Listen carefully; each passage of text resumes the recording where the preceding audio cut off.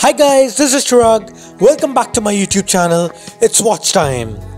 Today I have a HMT Jawan watch to show you. So this is a watch which I acquired a few months back from a fellow watch collector. It's not a new watch, it is a used watch and hence you will see some wear and tear on the dial. So let's quickly have a look at this particular watch. Here's the black dial HMT Jawan watch. HMT Jawan is printed on the dial. Jawan is the term used for a soldier of the Indian Army. So it's a Parashock 17 jewel hand winding mechanical watch. Numbers 3, 6, 9 and 12 are printed on the dial. These numbers are loomed. Also for the rest of the numbers there are loom dots on this watch. There is a there are minute markings as well. The hands are like the HMT Pilot and are loomed. Since this is an old watch, all the lume on the hands has died.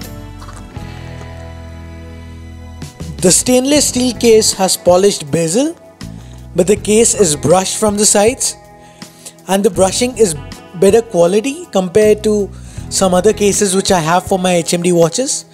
Um, the crown is a little bit bigger in size compared to the other HMT watches I have. Let's wind this watch and see. So yes, it has started ticking now. Let's have a quick look on the case back. It's a screw back case and it says stainless steel and shockproof. Also, there are some military markings on it. There's an arrow and some serial number which I'm afraid I couldn't decipher.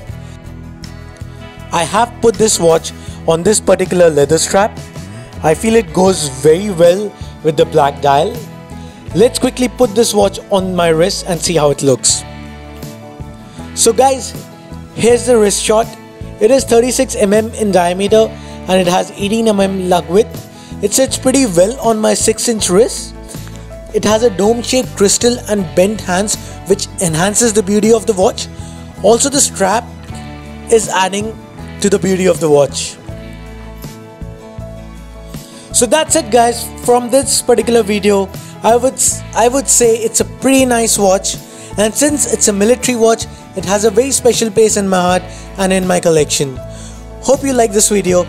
If you did, don't forget to give it a like, share this video with other watch enthusiasts. Also, if you haven't subscribed to my channel, please do subscribe. It just takes a second and helps me a ton. Thanks a lot for watching this video. See you soon with another watch video. Till then, goodbye.